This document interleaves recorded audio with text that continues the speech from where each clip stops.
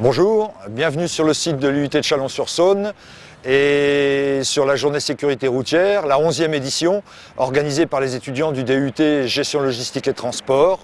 Euh, il s'agit de, réaliser une, manifestation pour euh, euh, permettre et aider à résoudre un problème de santé publique, celui de la sécurité routière.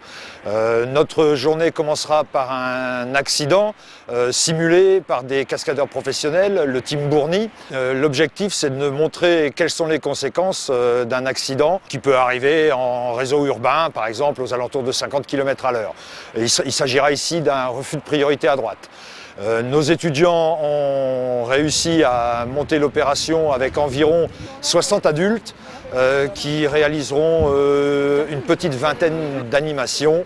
Euh, qui vont euh, du don du sang euh, au don d'organes, en passant par des exercices liés à la sécurité routière, la prise d'alcool, la simulation d'usage de psychotropes. On a également les forces publiques qui interviennent, la gendarmerie qui donnera des explications, le SAMU, les pompiers. Mais aussi euh, la MAIF, la MGEN, les transports brevets, le crédit mutuel enseignant et bien d'autres